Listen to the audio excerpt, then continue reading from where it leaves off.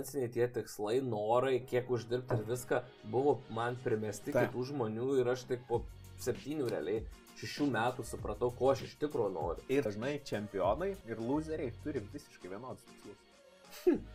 Čia geras. Šito nesu girdėjęs, reikia taip pasakysiu, bet jie eina į darbelį, uždirba pinigėlius, uh, gyvena gyvenimėlį ir galiausiai uh, išeina į pensijėlę.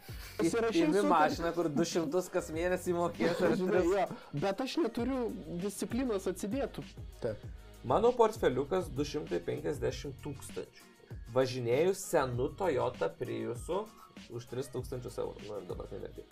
Mašinos labai norisi, bet tai visada kvailas pirkinys. Kaip nusipirkti protingai mašiną, kad neprieštrautų visai investavimo logikai. Ir čia daugelis investuotojų susiduria, nes jie jau būna pagavę hypą, nu ir mes pagavę hypą, vis daugiau, daugiau, daugiau investuoja.